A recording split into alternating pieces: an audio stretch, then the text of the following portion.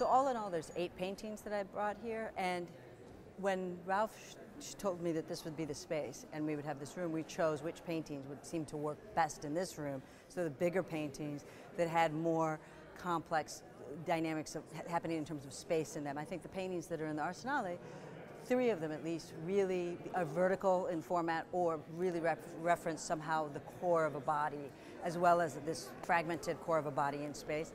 And so they feel like those three paintings kind of do that in a totem totemic way for in one after another. So you have they're very linear, and the installation is very precise. I think here these paintings are much more complex in terms of space and the photographic image that's underlying them, and in terms of landscape, between aspects of landscape, um, just pure abstraction and in terms of mark making, and then also di disembodied body parts kind of emerging or coming out at times. And so they, they, interact, I think, with the other work in the room in a different way than where, whereas the other paintings I think would have become that, that dynamic that I wanted and then would have gotten lost maybe in here.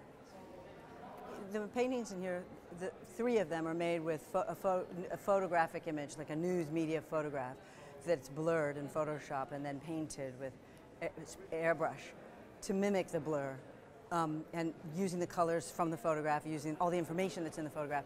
So it becomes this blurred base image that I then work into with mark making, with spray paint, with airbrush, with graphic pens, whatever it is. And, um, and this other kind of image uh, grows from that. But the, that's the, generally the approach for these. Mo several of these images are based on the Charlottesville Rally to the Right event that was a few years ago in the U.S.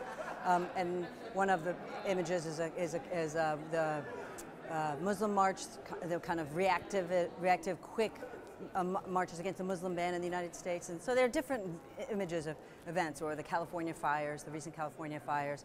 The images of those were also part of the underpaintings of some of these. As well as I have a couple paintings here that I think are from the European context, and I think that's interesting because it's here in Europe. One is of uh, protesters being um, separated by the police and a body being pu pulled and carried away, which is of a Spanish protester in Barcelona, and another image of the Grenfell Tower burning.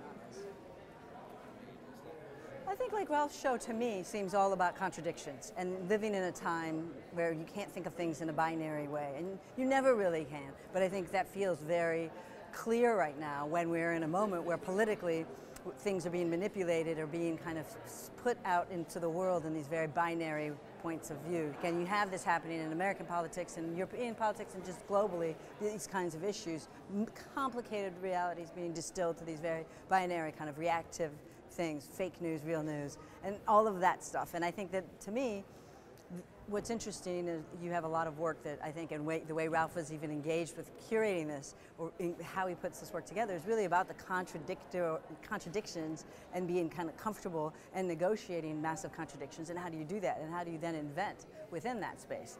And so, to me, I'm really excited by that type of thinking. And I've, it's been, I've enjoyed the, the artists that I've been here with and working on this.